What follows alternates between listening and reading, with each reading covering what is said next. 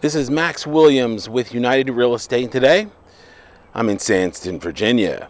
Today, we're going to take a look at a four bedroom, two and a half bath ranch home.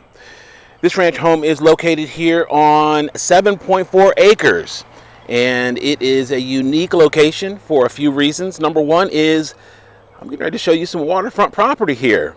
Uh, the home is a HUD home, and it's in need of major renovation. When a home is in need of major, major renovation, it often will not qualify for traditional financing. Uh, that is the case here with this home. However, there is a special loan that is a renovation loan, and it will allow an individual that wants to live in the home, not an investor, to purchase and then have money set aside for their renovation. Now, on this home, it's going to be a pretty good sized check for the renovation, uh, but that is not a problem because you can combine the purchase price and the renovation cost together into that one loan. You would have a three and a half percent down payment, and then you could, of course, close, get that work done to your specifications. So if there was something you wanted to do out back here and do a really nice hardscape, you could do that. Imagine having him cook breakfast and then come out and sit and this is your view on a nice summer morning as you enjoy your croissants and your crumpets. Uh, this is just amazing location here. It's so quiet you can probably hear the birds chirping in the background. One of the things that's important when you are buying is to work with a good buyer's agent that can give you the backstory on a home. Every home has a backstory. Often it can be discovered just by doing a little research. We have tools that we use and can kind of paint a picture of exactly what's going on. I'll give you an example. With this home, it's been under contract twice, and for whatever reason, it did not close. Uh, I would, of course, raise my left eyebrow and say, okay, something's going on here uh, I can simply pick up the phone and call the listing agent and say, hey, you know, what's the situation here? I know them personally, and uh, like many of the agents here in town, uh, and they'll tell me, hey, Max, this is what happened, and take a look, make an offer, you know, keep that in mind, and let's make something happen. And that's often what we do, is to look at the current situation of a home and then move forward accordingly. Uh, here at this home, we can see our exterior does need some work. I would probably go back and redo it with some vinyl or some HardiePlank. Uh, new windows. Um, it's just a major renovation that would be needed on this home. Now, the beauty of this particular property is we have got a floor plan that could really shine. We've got a nice large primary bedroom. We've got an open layout here in this almost 2,000 square foot ranch style home. Okay, let's go on in and take a look.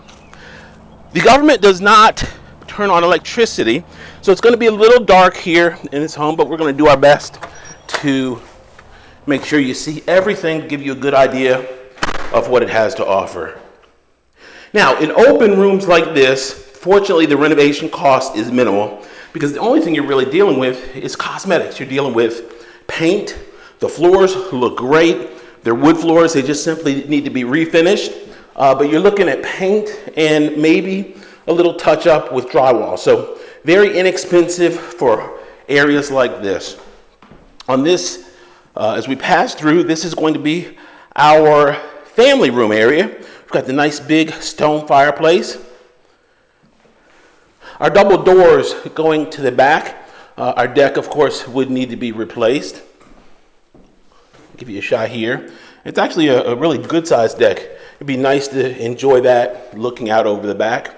I'm going to take you here to the primary bedroom wing of the home. Uh, before we go there, this was used formerly as a laundry room.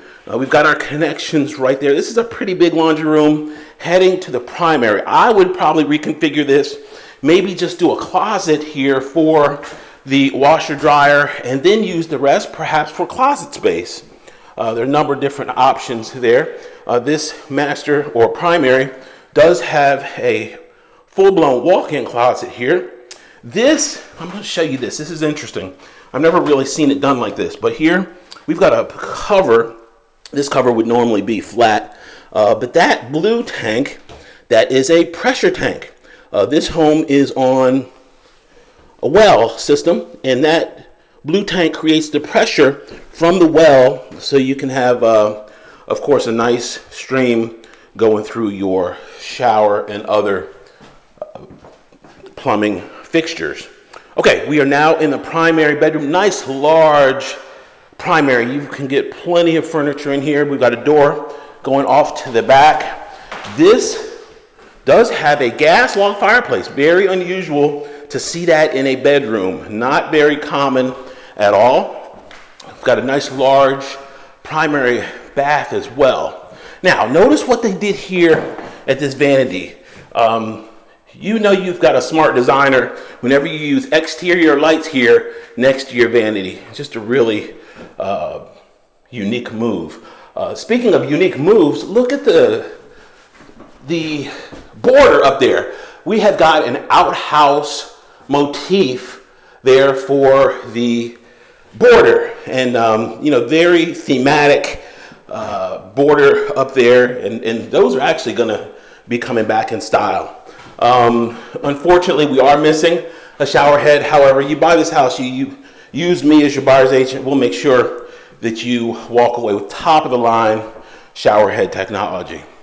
All right, let's go on back through to the other end of the house and see what it has to offer. Once again, these wood floors are good sanding and refinishing, and uh, I think they would look absolutely fine. Uh, we're going to go straight through. We're going to have a powder room uh, here to our left. Give you a shot there. Now remember, whenever they take these homes back, they will always winterize. That's why you've got that pink solution, uh, that's antifreeze, in the toilet. That it, it was not a crime scene. Uh, nothing happened nefarious here in this home. Okay, and this is going to be a uh, pantry here.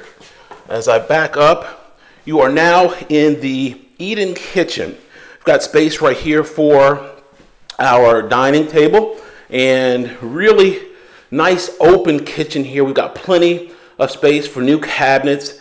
Uh, they actually replaced the, uh, the refrigerator there, uh, but we've got a nice amount of space here to just come in and completely redo this kitchen.